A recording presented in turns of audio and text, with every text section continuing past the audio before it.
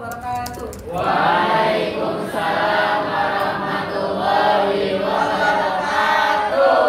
Selamat pagi. Masih ada juga ya yang selamat, ada yang tepuk. Nah sekarang ini sepakat ya, kemarin udah diganti kalau selamat pagi itu. Oke, selamat pagi. Selamat pagi. Selamat siang. Selamat siang. Selamat sore. Selamat malam. Nih, selamat malam terakhir ini harus kompak ya biar eh, membuktikan kayak ini konsentrasi. Selamat malam. Oke, alhamdulillah ya sudah kompak semua. Ya, jadi pada pertemuan kali ini kita masuk ke pertemuan ke sembilan. Yang kita rencanakan yaitu adalah presentasi yang mana untuk kelompok 1 sampai 5 nah, jadi presentasi nanti dilaksanakan oleh kelompok 1 sampai 5 yang mana teknisnya bergantian kelompok 1 sampai 5 berurutan begitu. Kalau misalkan nanti kelompok 1 sampai 5 sudah selesai dilanjutkan dengan sesi memberikan saran yang mana sarannya diberikan oleh kelompok 6 sampai 10 yang nantinya perwakilan dari kelompok 6 sampai 10 itu memberikan saran untuk kelompok yang maju. Bisa dipahami ya?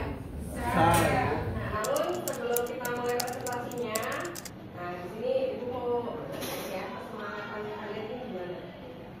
Dengan cara ibu mau eh, meminta kalian itu menyebutkan satu kata, ya, satu kata yang mana nanti kata tersebut kalau dirangkai jadi sebuah cerita. Ya, satu mahasiswa satu kata. Misal nanti dimulai dari Mbak siapa? Mbak Linda. Terserah mau kata apa? Misalkan saya. Nah, nanti dilanjutkan lagi oleh Mbak.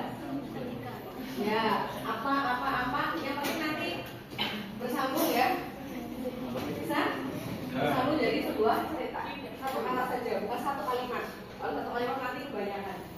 Oke, bisa dimulai? Ya. Saya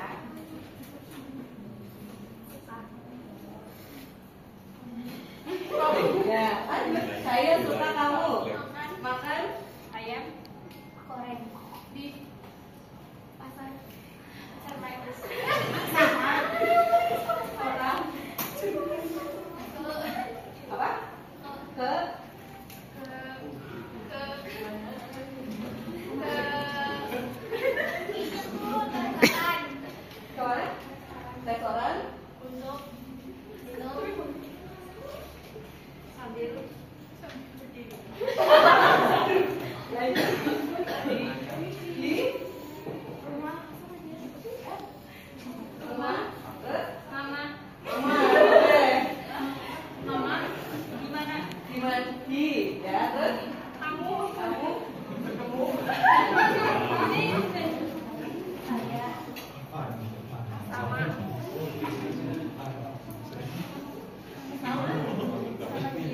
Iya.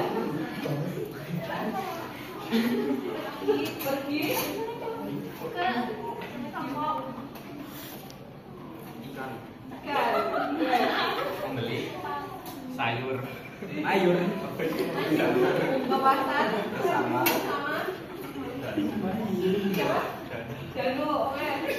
Dan di pasar jalan-jalan setelahnya pulang Tidur. oke ya oke kayaknya ceritanya ini ya pasar balik lagi ke pasar lagi oke kayaknya ini pada pengen ke pasar karena lapar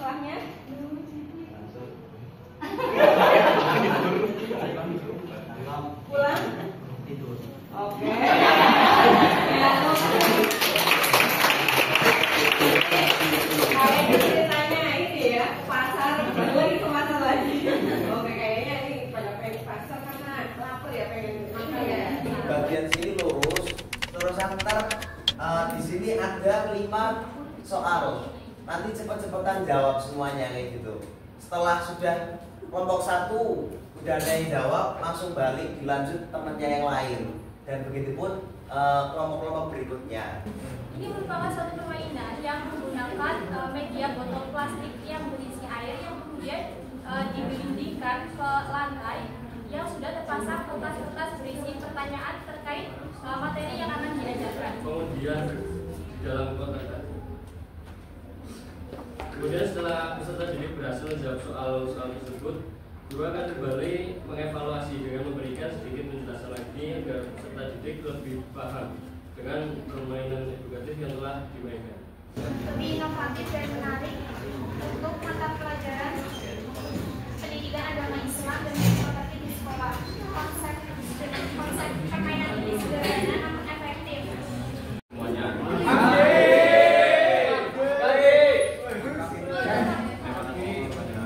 Kira-kira selama presentasi dilaksanakan, kalian dengar suaranya?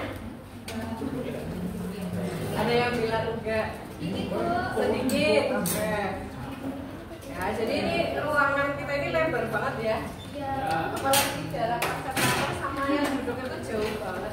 Nah, ditambah lagi yang presentasi suaranya low gitu ya. Beberapa beberapa juga ada yang sudah mungkin ini suaranya tinggi.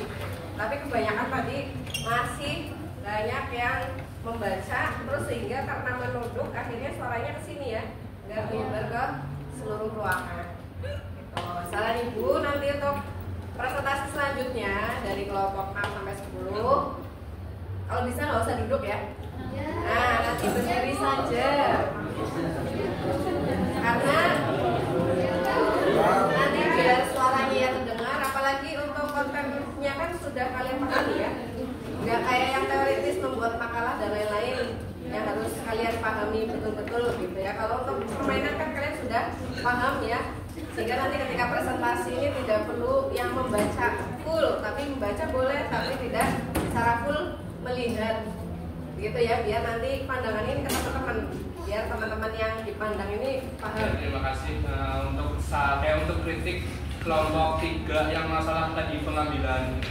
Yang itu loh yang antara nomor sama zong itu kata aku sih kurang efektif karena buat waktu.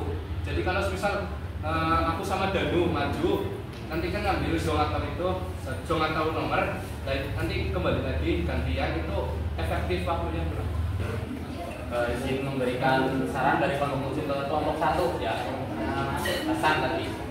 Yang mana itu eh, game time game turnamen ya yang tadi eh, mengerjakan mengerjakan soal tapi yang muter-muter nah itu kan tadi dijelaskan cepet-cepetan. Yang ngerjainnya kayak 5 5 soal yang cepet-cepetan itu baru nanti disetorkan.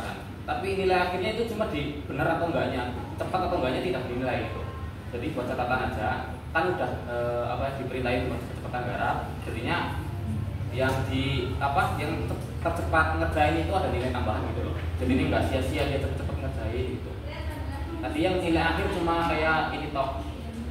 Cuma nilai bener apa enggaknya enggak cepat apa enggaknya gitu. Tambahin. Eh, izin berkomentar untuk kelompok satu.